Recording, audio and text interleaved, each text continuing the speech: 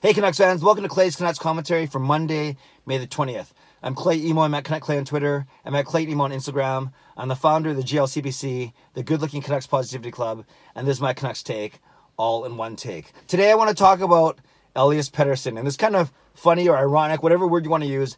One day after I was trying to make my case for why I was more excited for Quinn Hughes, even more excited for Quinn Hughes than Elias Pettersson or Brock Boeser when they made their NHL debuts, I was brought out of my seat, or more appropriately, out of my bed this morning by sounds kind of funny by a goal that Pettersson scored in the World Hockey Championships. Sweden beat Latvia 5-4 is a way closer game than I expected, but Sweden did beat Lat- Latvia 5-4 this morning.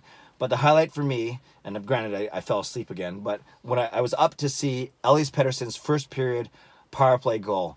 What a goal. What a snipe. And before I say anything else, can we please somehow find a way to bring Elias Lindholm and Gabriel Landeskog to the Vancouver Canucks because those three guys together, Lindholm, Landeskog, and Pettersson, they're magic together. They're magic uh, on power play. They're magic, even strength, and given Sweden some really good, um, you know, some good offense during this tournament. But this goal and the aftermath, pretty sick. So typically Swedish power play, very patient, move the puck around, and basically went from Lindholm to Landeskog behind the net, and Landeskog out to Pettersson in his office, so to speak, uh, at the faceoff dot. So Pettersson calmly gets the puck and he calmly roofs it right over the goalie's glove, over the top, you know, top right corner of the net, top left hand for the goalie, and basically a space maybe as big as this. And Pettersson found it. So wonderful snipe with his wrist shot, and then amazing. He turns around and he looks at the Latvian bench, and he doesn't say anything, but he actually gives them the death stare for a good two or three seconds as his teammates come to, you know, pat him on the head and t- bump gloves and to, and to congratulate him on the goal, Pettersson wouldn't have any of it. He was just looking at the Latvian bench. So the commentators were speculating, you know, did someone say something or did something happen on a previous play?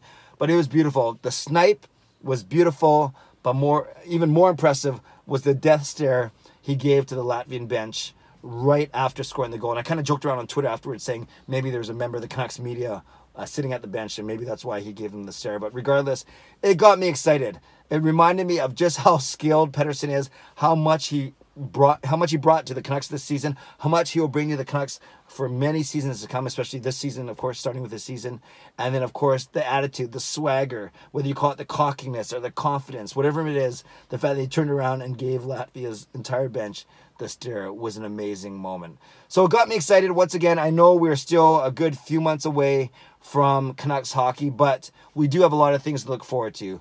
We have the draft coming up next month. We have free agency. We have any trades that may happen. And then we have the NHL awards actually that happened a couple days before the draft where Pettersson will likely win the Calder Trophy. Then we have training camp after a long summer, and then we have games again once uh, once again in October as the Canucks celebrate their 50th season. So a lot to be excited for, and Elias Pettersson will be a big part of that. But for today, just wanted to appreciate Pettersson snipe and Pettersson stare. Pettersson skill, his speed, all those things, a lot of S words. But today it was a snipe and it was a stare. Got me excited, got me out of bed, although I went right back to bed right after that. But still, great way to start my day. Canucks fans, leave a comment below. Love to read what you have to say, react and reply as always. Did you happen to see the goal? Actually, I posted on Twitter. It's got over 2,000 views already because I was so excited. Did you see the goal live? Did you see it on highlight? Didn't matter where you see, where you saw it.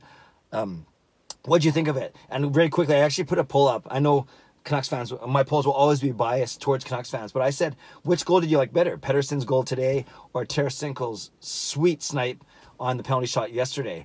Um, you know, it's right now it's running 70-30 for Pettersson's goal. I actually thought Tarasenko's goal was just as skilled, even had the same small opening to go for over the goalie's glove. So I actually thought Tarasenko's goal was a better shot only by uh, the thinnest of margins. Really, we're splitting hairs.